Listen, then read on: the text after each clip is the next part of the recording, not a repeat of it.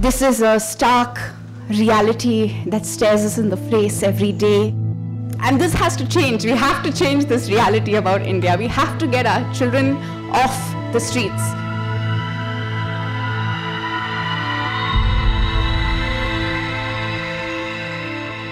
And we have to give them dignity. We have to give them access to education. We have to give them identity. And it's very simple. It can be done. And I think the first uh, indication of this possibility, this reality, is this SOP, and I celebrate it with all my heart.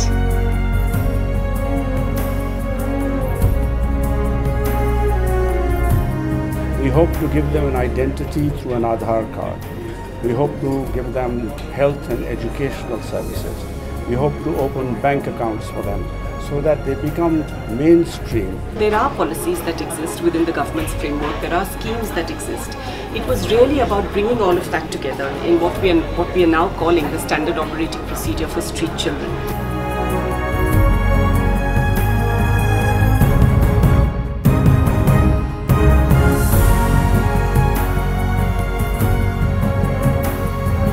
This SOP is evidence of possibility.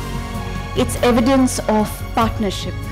It is indicative that government and NGOs can collaborate, can work together because their goals are the same to impact change, to make a difference.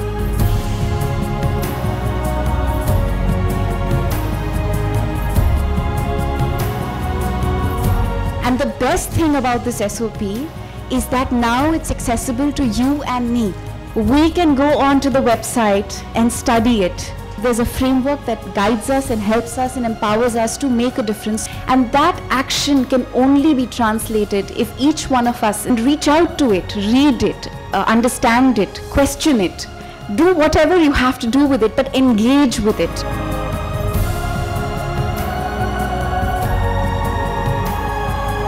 As far as Save the Children is concerned, uh, we are in the business of ensuring child rights across the world as well as uh, in India uh, for children.